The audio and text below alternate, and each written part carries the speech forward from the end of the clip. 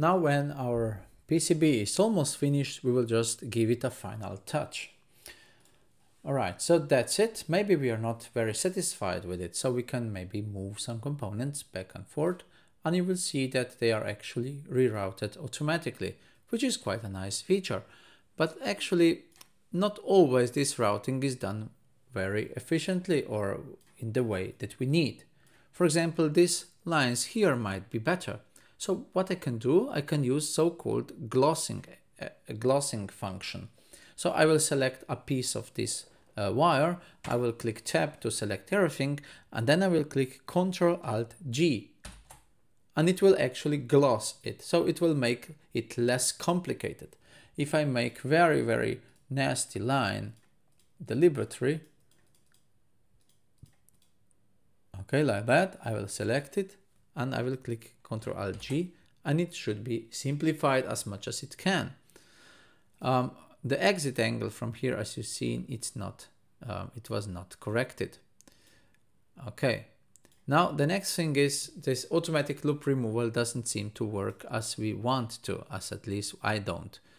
Uh, clicking here and moving this line would help a little bit, maybe. We'll see.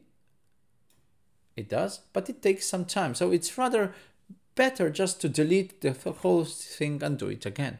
But clicking and tabbing will also will, will always select all the lines connected together on the same layer.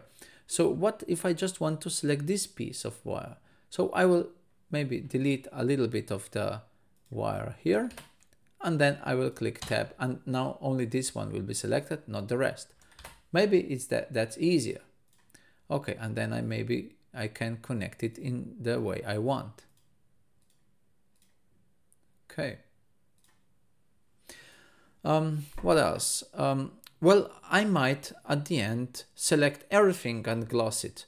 Um, so how can I do that? Well, I can go and shift all the, with the shift select all the parts, but that's will take a little bit of time.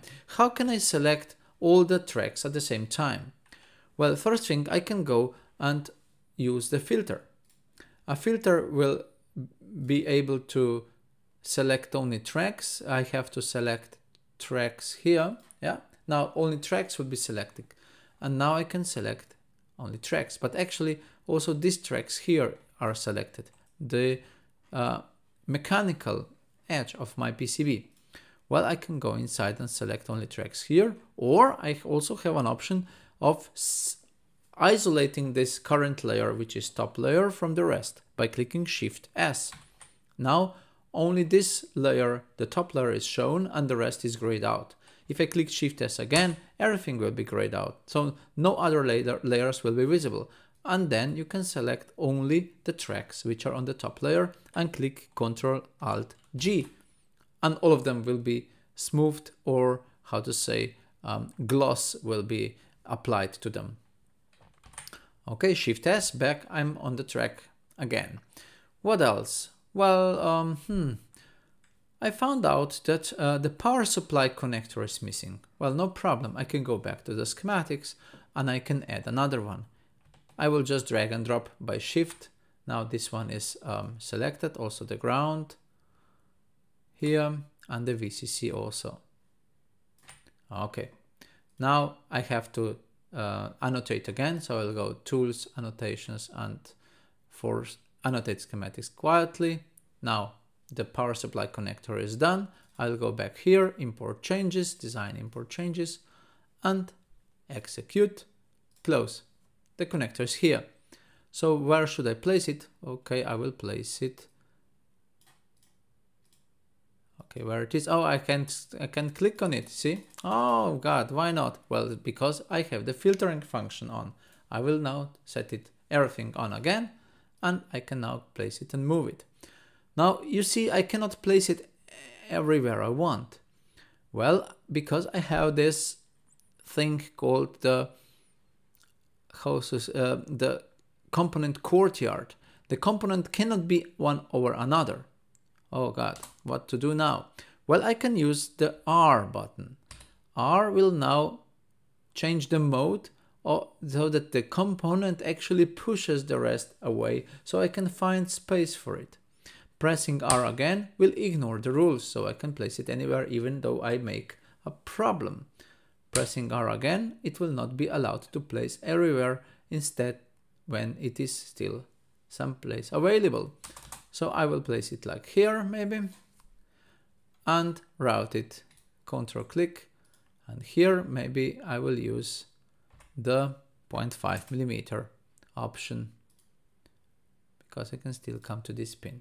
All right, what else? Well, the um, all these designator which are on top overlay or top silk layer are sort of not arranged yet because they are overlapping.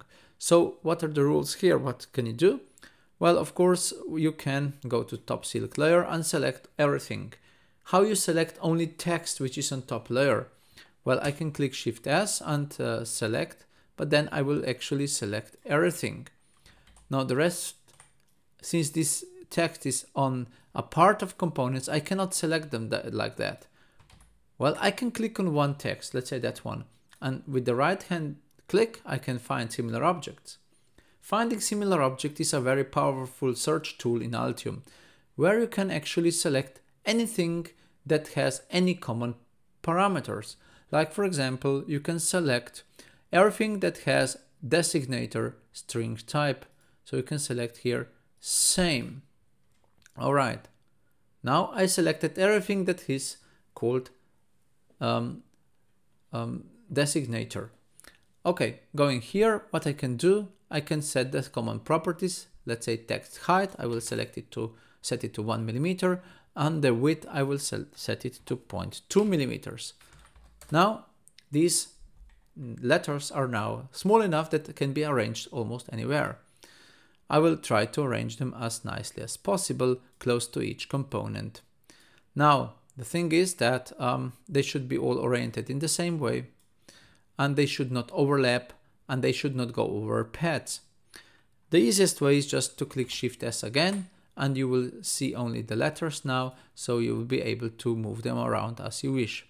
If you go to Shift S again, maybe it's not visible anymore where you shouldn't put it. And here it's just too much things to see. And they might be um, on your way. Well, you can go also to 3D and in 3D, it's quite easy to place them. Even better, you see where you can place them and where you can't. And Shift S works only also in 3D. So now I see only top layer, now I see only top layer, and now I see everything. So top layer with the grayed out of the, re the rest of the components and Shift S again, I see only top layer and nothing more. Of course, I also see 3D bodies of components. Back to two, second layer uh, to, to, to the uh, 2D. Um, what else? Um, is there anything else to be done here? Um, I suppose not. The PCB looks neat now and it's almost ready for production.